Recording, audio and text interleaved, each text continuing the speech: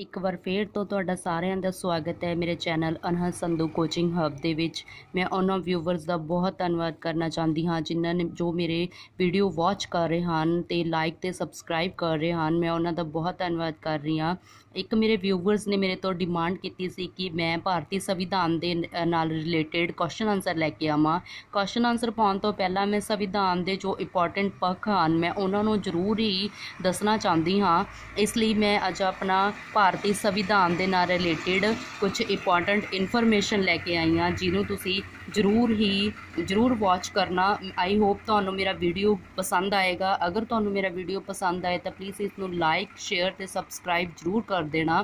Please please please ਮੇਰੀ ਸਾਰਿਆਂ ਨੂੰ ਹੀ ਰਿਕੁਐਸਟ ਹੈ ਪਲੀਜ਼ ਵੀਡੀਓ ਨੂੰ ਫੁੱਲ ਟਾਈਮ ਵਾਚ ਕਰਿਆ ਕਰੋ ਤਾਂ ਕਿ ਤੁਹਾਨੂੰ ਕੋਈ ਵੀ ਤੁਹਾਡੀ ਇਨਫੋਰਮੇਸ਼ਨ ਆ, ਜੋ ਤੁਹਾਡੀ ਨੌਲੇਜ ਤੁਹਾਨੂੰ ਕਿਸੇ ਚੀਜ਼ ਬਾਰੇ ਨਹੀਂ ਹੈਗੀ, ਤੁਹਾਨੂੰ ਉਸ ਦੇ ਬਾਰੇ ਵਿੱਚ ਪਤਾ ਲੱਗ ਸਕੇ। ਠੀਕ ਹੈ ਜੀ, ਅਸੀਂ ਅੱਜ ਸ਼ੁਰੂ ਕਰਦੇ ਹਾਂ ਆਪਣਾ ਭਾਰਤੀ ਸੰਵਿਧਾਨ।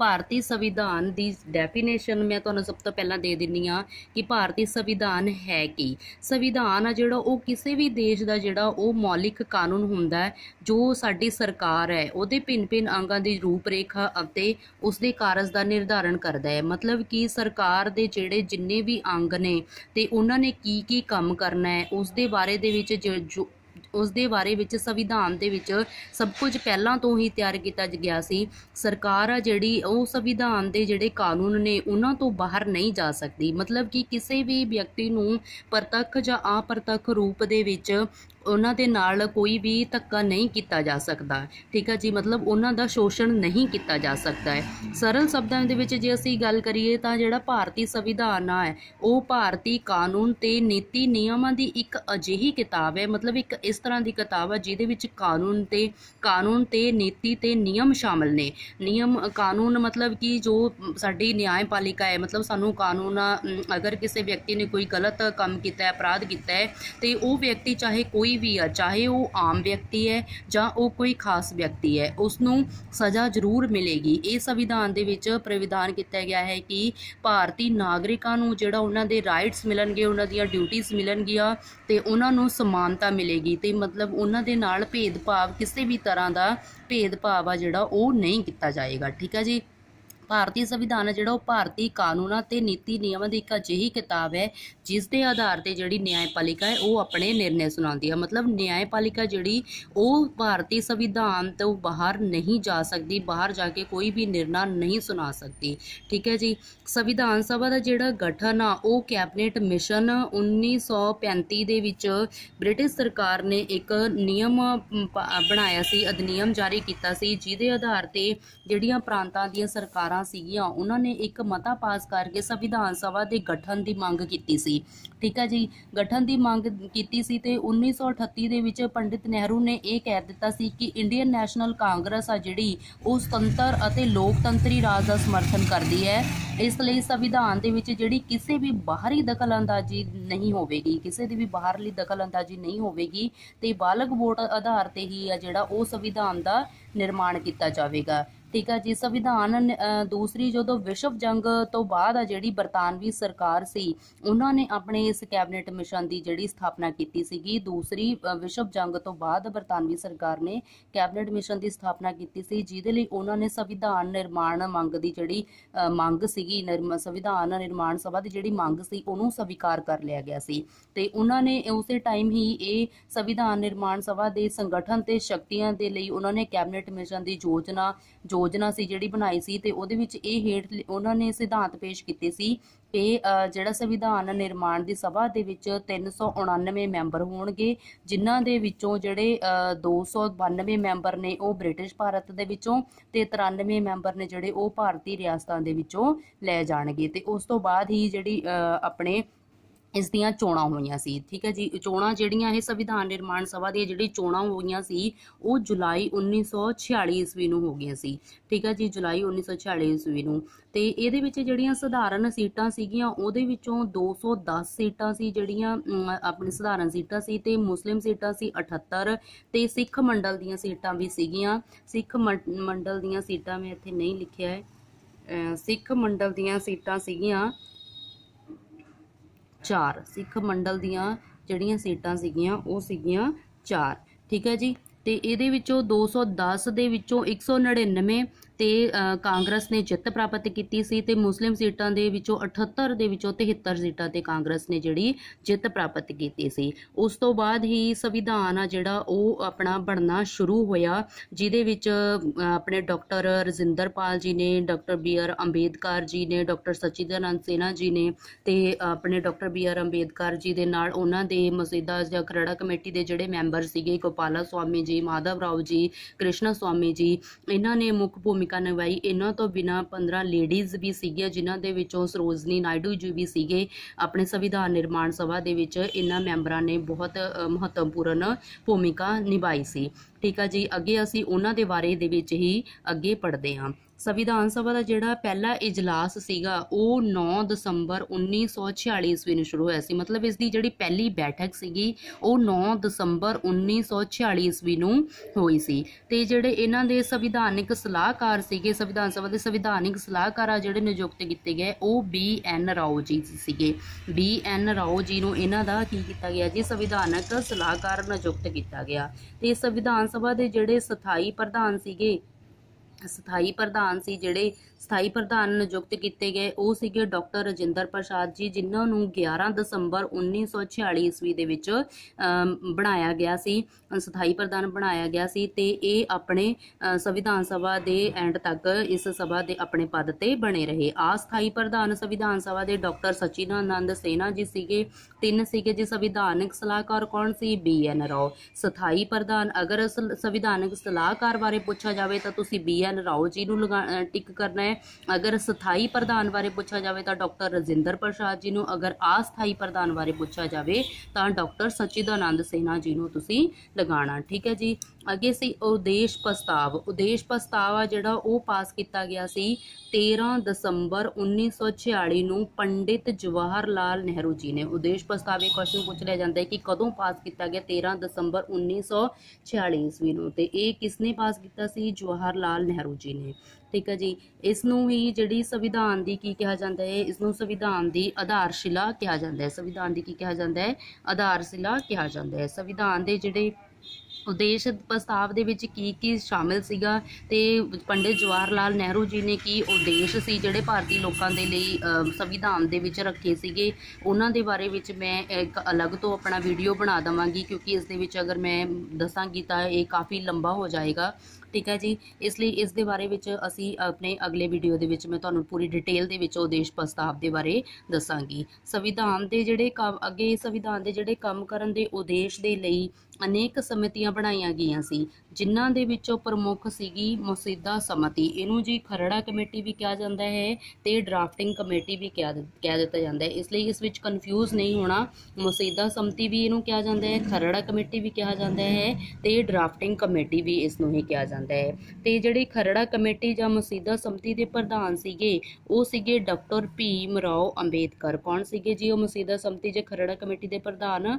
ਡਾਕਟਰ ਭੀਮ ਰਾਓ ਅੰਬੇਦਕਰ। ਤੇ ਇਹਨਾਂ ਤੋਂ ਬਿਨਾ ਇਸ ਦੇ ਵਿੱਚ 6 ਮੈਂਬਰ ਹੋਰ ਸੀਗੇ ਤੇ ਇਹ ਕੁੱਲ ਟੋਟਲ 7 7 ਮੈਂਬਰ ਸੀਗੇ। ਇਹ ਮੈਂਬਰ ਸੀਗੇ ਜੀ ਆਪਣੇ ਸਰਵ Shri N Gopala Swami Ayyangar, N Madhav Rao T T Krishna Swami, Alladi Krishna Swami Ayyar, Muhammad Saadulla, K M Munshi ਅਗਰ ਤੁਸੀਂ ਇਹਨਾਂ ਦੇ ਨਾਮ ਧਿਆਨ ਨਾਲ ਦੇਖੋ, ਤਾਂ ਗੋਪਾਲ ਸਵਾਮੀ, ਮਾਧਵ ਰਾਓ, ਕ੍ਰਿਸ਼ਨ ਸਵਾਮੀ ਕ੍ਰਿਸ਼ਨ ਸਵਾਮੀ, ਅੱਲਾ, ਮੁਹੰਮਦ ਮੁੰਸੀ ਇਸ ਤਰ੍ਹਾਂ ਮਤਲਬ ਕਿ ਸਾਰੇ ਹੀ ਭਗਵਾਨ ਦੇ ਨਾਮ ਆ ਰਹੇ ਹਨ।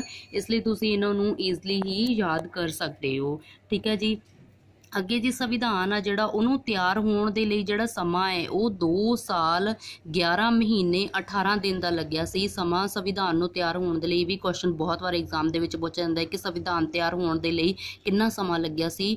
2 ਸਾਲ 11 ਮਹੀਨੇ 18 ਦਿਨ ਦਾ ਸਮਾਂ ਲੱਗਿਆ ਸੀ। ਸੰਵਿਧਾਨ ਬਣ ਕੇ ਜਦੋਂ ਤਿਆਰ ਹੋ ਗਿਆ ਸੀ, ਸੰਵਿਧਾਨ ਆ ਜਿਹੜਾ ਸਾਡਾ ਉਹ ਕਦੋਂ ਬਣ ਕੇ ਤਿਆਰ ਹੋਇਆ? ਇਹ ਵੀ ਕੁਐਸਚਨ ਪੁੱਛਿਆ ਜਾਂਦਾ, ਕਦੋਂ ਲਾਗੂ ਹੋਇਆ, ਕਦੋਂ ਤਿਆਰ ਹੋਇਆ, ਕਿੰਨਾ ਸਮਾਂ ਲੱਗਿਆ?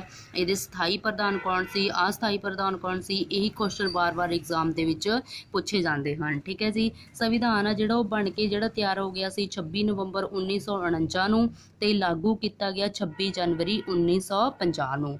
ਠੀਕ ਹੈ ਜੀ? ਸੰਵਿਧਾਨ ਸਭਾ ਦੀ ਜਿਹੜੀ ਅੰਤਿਮ ਬੈਠਕ ਆ, ਉਹ 24 ਜਨਵਰੀ 1950 ਈਸਵੀ ਨੂੰ ਹੋਈ ਸੀ। ਸੰਵਿਧਾਨ ਸਭਾ ਦੀ ਅੰਤਿਮ ਬੈਠਕ 24 ਜਨਵਰੀ 1950 ਈਸਵੀ ਨੂੰ ਹੋਈ ਸੀ ਤੇ ਇਸ ਬੈਠਕ ਦੇ ਵਿੱਚ ਹੀ ਜਿਹੜੇ ਸਾਡੇ ਡਾਕਟਰ ਰਜਿੰਦਰ ਪ੍ਰਸਾਦ ਜੀ, ਜਿਹੜੇ ਸੰਵਿਧਾਨ ਸਭਾ ਦੇ ਸਥਾਈ ਪ੍ਰਧਾਨ ਵੀ ਸੀਗੇ ਤੇ ਉਹਨਾਂ ਨੂੰ ਭਾਰਤ ਦੇ ਪਹਿਲੇ ਰਾਸ਼ਟਰਪਤੀ ਚੁਣ ਲਿਆ ਗਿਆ ਸੀ। ਠੀਕ ਹੈ ਜੀ? ਤੇ ਅੱਗੇ ਭਾਰਤੀ ਸੰਵਿਧਾਨ ਦੇ ਜਿਹੜਾ ਜਨਕ ਆ, ਉਹ ਕਿਹਨਾਂ ਨੂੰ ਕਿਹਾ ਜਾਂਦਾ ਹੈ? ਉਹ ਡਾਕਟਰ ਭੀਮ ਰਾਓ ਅੰਬੇਦਕਰ ਜੀ ਨੂੰ ਹੀ ਕਿਹਾ ਜਾਂਦਾ ਹੈ, ਜਿਨ੍ਹਾਂ ਨੇ ਮਤਲਬ ਕਿ ਬ੍ਰਿਟਿਸ਼ ਤੋਂ ਬਹੁਤ ਸਾਰੇ ਅਲੱਗ-ਅਲੱਗ ਦੇਸ਼ਾਂ ਤੋਂ ਜੋ ਵੀ ਉਹਨਾਂ ਨੂੰ ਅੱਛੀਆਂ ਚੀਜ਼ਾਂ ਲੱਗੀਆਂ, ਉਹਨਾਂ ਨੇ ਸੰਵਿਧਾਨ ਦੇ ਵਿੱਚ ਸ਼ਾਮਿਲ ਕੀਤੀਆਂ, ਜਿਨ੍ਹਾਂ ਦੇ ਬਾਰੇ ਵਿੱਚ ਆਪਾਂ ਅੱਗੇ-ਅੱਗੇ ਪੜ੍ਹਦੇ ਜਾਵਾਂਗੇ। ਠੀਕ ਆ ਜੀ?